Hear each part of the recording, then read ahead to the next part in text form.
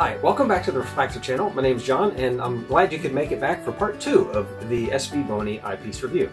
In the first part, we compared the gold line of their eyepieces versus the red line of their eyepieces. Now, uh, an issue that came up in the first video had to do with the red ones, and that's what this part of the review is going to focus on. I found that when I took the red eyepiece and I put it into my Barlow lens that has a tightening ring, I guess they're called a Cooper ring, and I tighten it down, they're still very, very loose. And in fact, I had somebody tell me since the first part of the review that uh, they had a problem with these red ones in their binocular viewer. I'm not sure which model it was. This particular Barlow is the Celestron X-Cel LX2X and it has the tightening ring.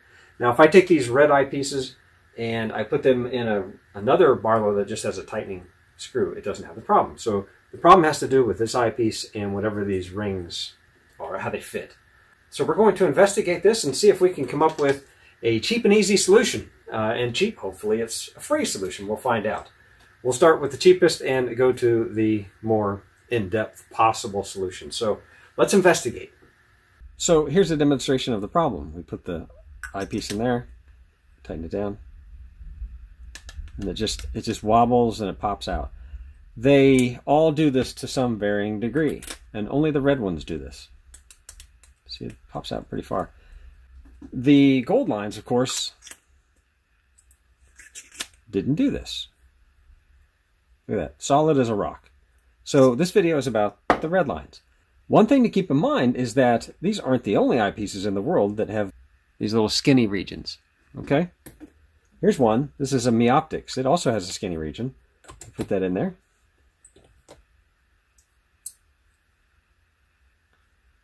And it doesn't wobble at all. It's, it's very tight. So what is the difference between this other brand and the red version? And we're going to take a closer look at the base of the barrels, and I think you'll see what the problem is. So I've I've basically unscrewed the barrel base from the bottom of each of the eyepieces.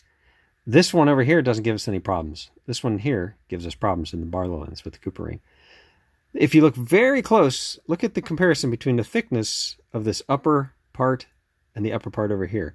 You can see that the thickness on the red one is slightly skinnier. Now I measured this, and there's about a 20 thousandths difference between these two.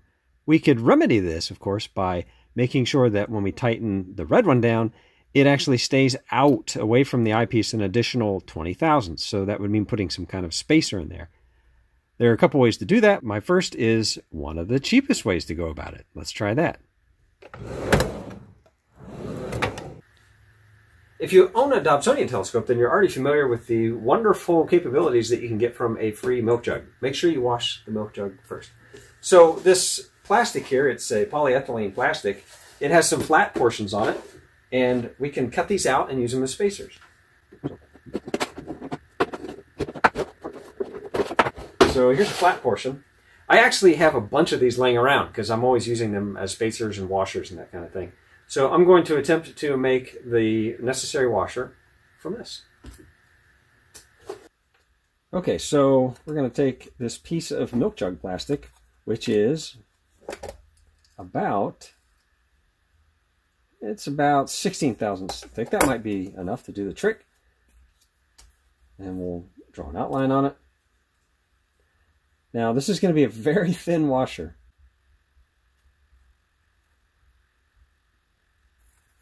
I don't have a black Sharpie, unfortunately.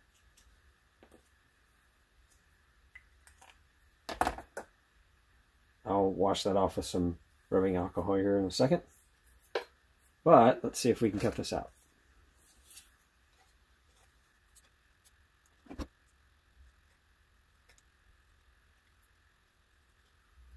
That's not all that uniform, unfortunately. Um, see if we can cut out most of this.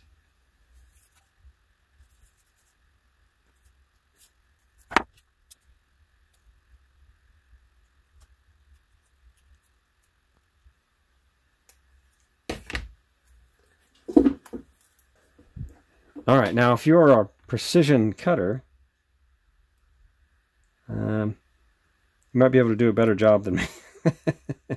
yeah, this one's not going to work for me. I'm not a very good precision cutter. And that washer has to be so small and so precise because it it can't be wider than this barrel. And look how thin that is. So you have to cut an extremely thin barrel. It can't be wider than this. Let's try method number two.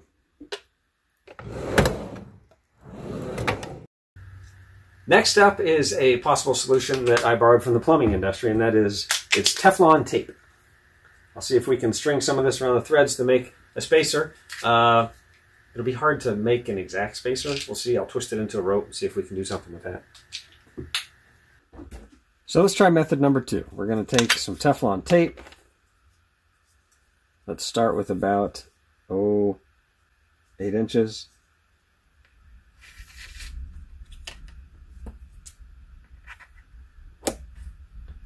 I'm going to twist it into a kind of rope. There's a storm raging outside, so if you hear thunder, that's what that sound is. It's not uh, not hunger pains or anything.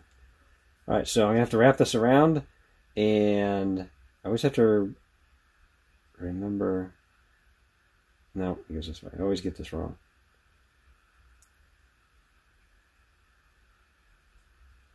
So just wrap this around like that. This is the best guess.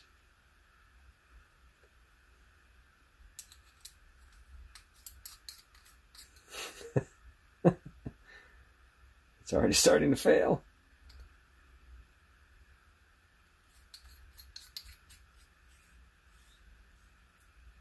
A little bit sticking out. Let's go ahead and cut those.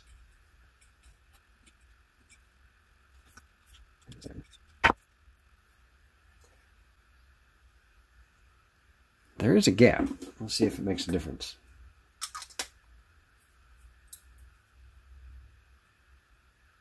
Wow, that's actually pretty tight. So the Teflon has proven that it works, but boy, it looks terrible and it's starting to shred. Let's try option number three. Oops, look at that. There's one right there. We don't want that. Oof. Let's get that out of the Barlow. Yeah, Teflon, Teflon's no bueno.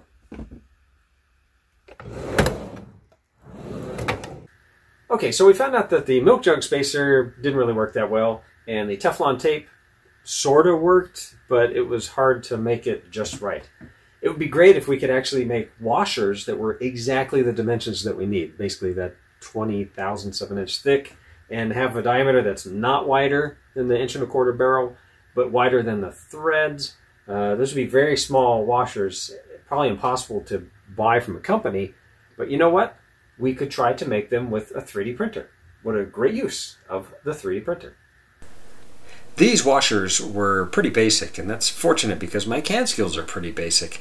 What you see here are the three washers that are identical, and then there are two that are slightly different. Those That's because three of the eyepieces have exactly the same type of barrel, and then there's a fourth one that has one that requires either the uh, super skinny washer or the one next to it. In the final file that you can have, there are actually four washers.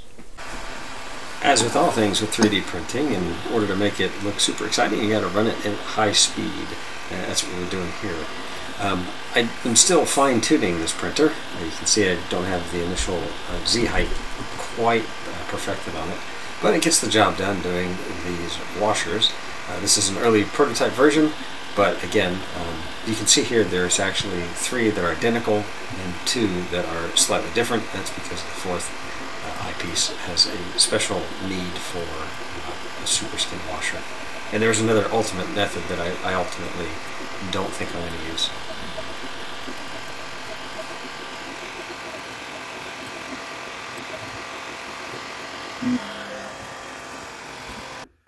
Okay, so here is the final test. Now, these three are the same, and that's because the male threads are coming out of the, uh, the telescope main body, and on the 20 millimeter, it's the opposite. The threads are actually on the barrel, but the barrel still has that problem with the short lip on top. So let's go ahead and let's start with the 6 millimeter. So I'm just going to take the 6 millimeter, and I'm going to take this washer, Put it on there. See if I can squeeze it down. It's a bit of a tight fit. Not too bad though. Or the main thing is you don't want it sticking out past the outside. Okay, that's on there now. So let's take the little Barlow portion.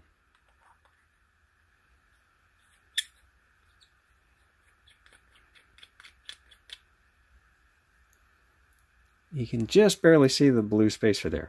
Let's give it the test. Here it goes. Tighten it. Oh, look at that. That is not going anywhere. That's a nice tight fit. Let's try the other ones. Here's the 9 millimeter. All right. You can just barely see it sticking out. Let's give it a try. Oh, look at that. Very solid. Okay, I'm this is I think this is going to be the winner. The 3D printed is going to be the winner. So let's take the 15. It's the last of the ones that has the male thread coming out of the main body.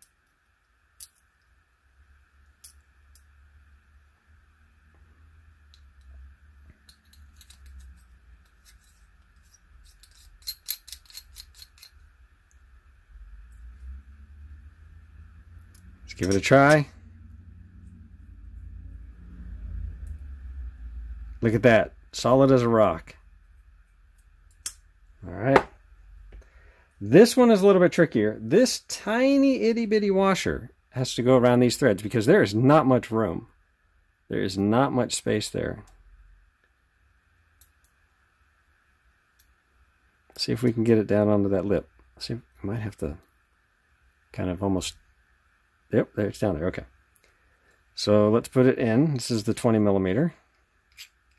Make sure the red ring is all the way up as well.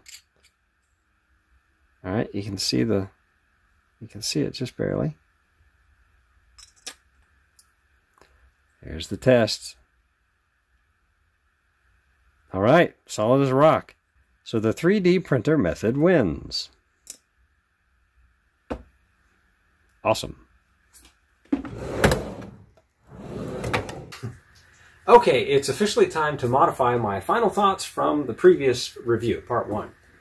So what do we have here? Basically, if you go ahead and you print the spacers and you put them in the red eye pieces, then it really doesn't matter which one you pick. It comes down to personal preference. If you like the rubber grips and you like this uh, narrow band here, then go ahead and get the red line eyepiece. If you don't really care about the rubber grips and you like the tapered barrel, then go ahead and get the gold eyepieces. So again, it comes down to personal preference now. There's really only a $10 difference here. Okay, so I've uploaded the 3D STL file that you use to make these washers to Thingiverse. There's a link down below in the description box. One note though, when you're printing it, make sure you're printing on the highest resolution possible uh, because the tolerances on these are pretty tight. And they're so small that even on high tolerance, the printing took maybe, what, four or five minutes. So it's definitely worth the time, and they came out really well. If you like what you've seen, then please push the like and subscribe button. And now there's a little bell you can push that will give you a notification when a new video comes out. I'm trying to make them more and more often now that I've actually I bought a, a used camera to help with that process. So, with that said, enjoy whichever eyepiece you get, and clear skies, everybody.